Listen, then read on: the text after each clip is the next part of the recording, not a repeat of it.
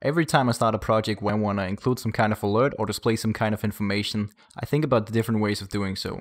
I've previously used LEDs that light up when conditions are met, I've used websites that display information, but this method is by far my favorite. Push notifications to your phone. Which brings me to the subject of today, Gotify. Gotify is self-hosted, it's open source, and it can run on Raspberry Pi, and it exposes a super simple to use API. Let's take a look at it. First up, it's always a good idea to make sure your Pi is fully updated. So we're gonna do a quick sudo apt get update and sudo apt upgrade. Now let's head over to the Gotify repository. And here we'll go to server releases and choose ARM7, which is the release for the Pi.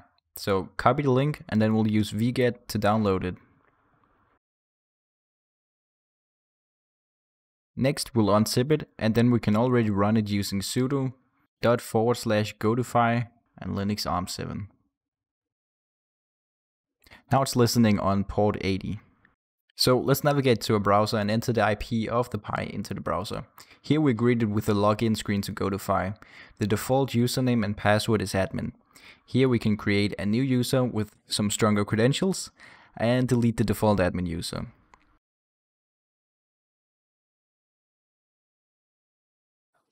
Then we can create a new application to get the token that we need to send push notifications. Next we'll install Gotify on a phone that needs to receive the messages. In this example I'll use the app Gotify has published, but you can actually use Gotify in your own apps if you create some. I'll include a link to the documentation in case that's something you want to check out. When you open the Gotify app, you'll want to type in the IP of your Pi if you're on the same network. Now, we aren't going to cover it in this video, but I'd recommend setting up a static IP for your Raspberry Pi so you have something persistent that Gotify can run on.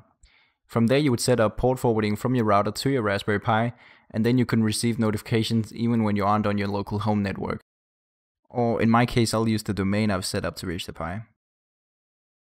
So I'll type that in and log in using my username and password that I created from the web view. Once logged in, that's all the setup you'll need on your phone. But I'll suggest removing the foreground notification and here you can also change how the different notifications are handled based on priority.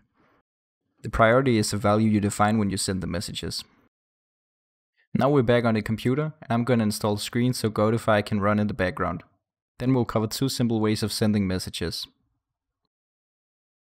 So Screen is installed and Gotify is running in the background. So let's cover how you can use the Gotify API.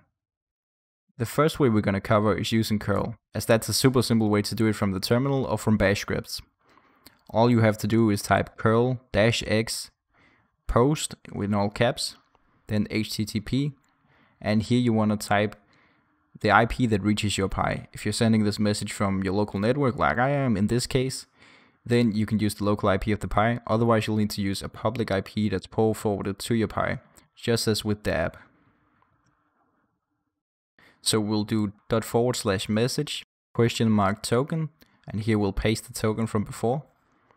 And then we'll end the quotes and do dash f and we'll input a title. I'm just gonna call it blue hippo. And we'll do dash f again and include a message.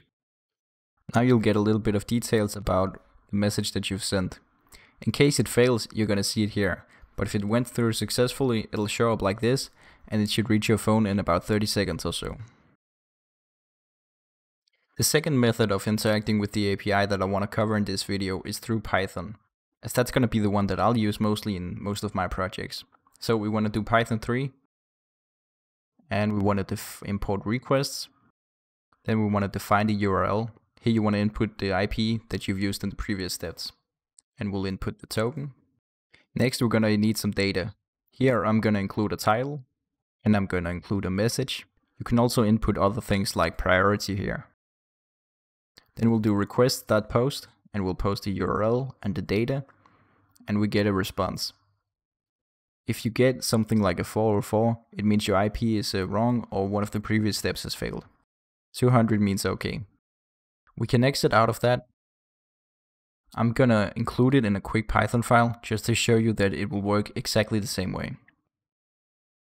From here, you can implement it in nearly every project. especially considering you can use it with Python. It also works with things like Home Assistant as it's just a simple API.